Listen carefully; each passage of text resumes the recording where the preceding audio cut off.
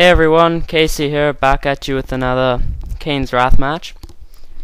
So, um, I was browsing through my replays the other day, and uh, I saw a match labeled I own guy with crazy strat.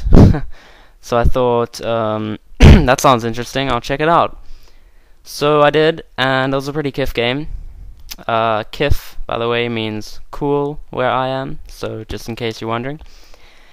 Anyway, yeah, it was a pretty cool game. So, yeah, watch and find out. Um, playing here on Tournament Tower. I'm a nod. I'm nod, not a nod.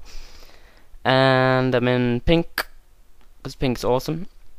Um, and you'll see I've just got a power plant and a barracks up. Sold my shredder turrets for the infantry, basically just for scouting purposes and I've built an engineer and a rocket squad out of my barracks. The engineer, of course, to capture the spike, just to give me a little extra resources early on. And the rocket squad is just to garrison in the center building.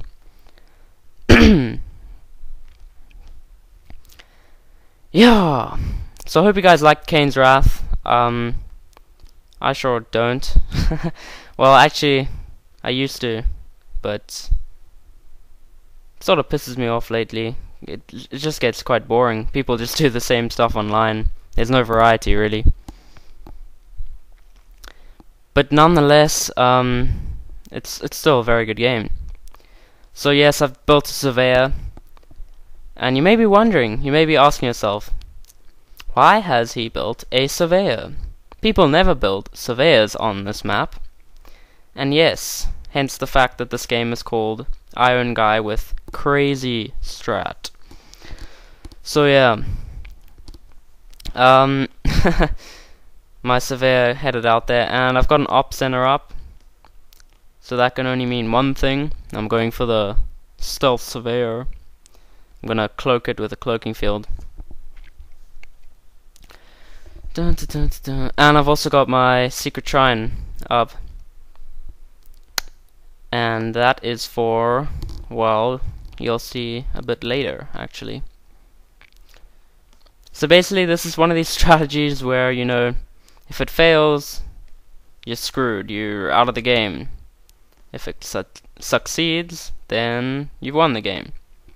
So it's sort of a an all-in strategy, if you will. Which is kind of the way I like to play, actually. I like to try new shit and uh, try some crazy shit and it just makes the game more interesting and more fun for me. So yeah.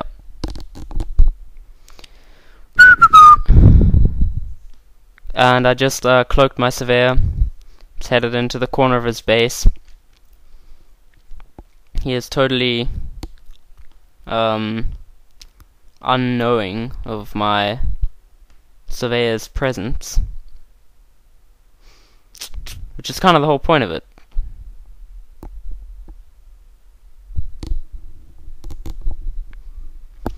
So I'm recording with a new mic um, on a different pair of headphones I have just because the other ones I for some reason I couldn't get to work on uh, sound recorder which was really fucking strange and it was pissing me off a lot last night so um, yeah I just decided to use a different headset and it works so if anyone can tell me why that is please do if you can't then it's also fine.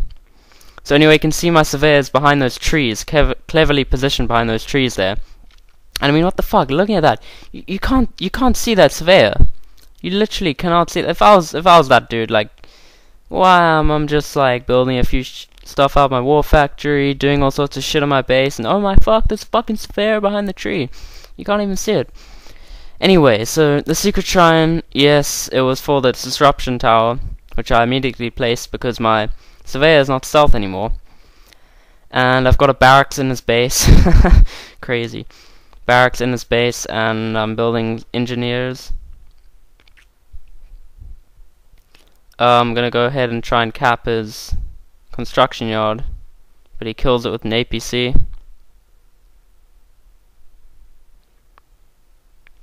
And my second one goes in for his war factory, which I gladly capture.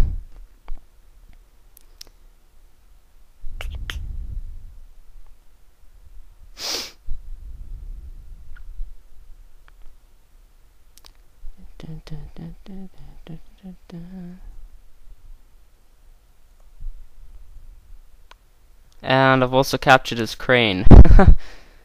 he is totally... He has no, no fucking idea what the hell is capturing all his buildings. Because my engineers also stealth. Um, because they're in the radius of my disruption tower. But, uh, of course, he builds a guardian cannon, which can detect stealth. But that's alright because it's a little bit far away, so he can't see my barracks, which is good. And he just you know, rolling around with his predators and stuff. Doesn't have a clue what's going on. Anyway, I'm building my second barracks because I figure the engineers aren't going to be enough. I'm going to need something else to finish this off. Place my second barracks in a minute. There you go. And I'm sort of building rocket squads and I quickly get rid of them and stop building black hand squads. Um, Black Hand are extremely powerful, and they can really just melt a base very quickly. So I'm I'm in a spot of trouble, and I'm like, engineer strap's not working. So I turn to Black Hand just to see if I can take him out Black Hand. And I've got like four four Black Hand infantry squads now. look how fast that building's health just goes down. It's absolutely crazy. Anyway, it does capture his war factory back, but I'm just gonna melt it in like two minutes anyway. So it doesn't really matter that much. And yeah, it's pretty much the end of the game. Um, pretty much annihilating him at the moment. I sell my one barracks, it's just using too much money. And he quits out of the game, you hear enemy defeated. Um, so yeah guys, this is just quite a funny, funny Kane's Wrath match. I thought thought I should share with you guys. And I encourage you to do similar strategies.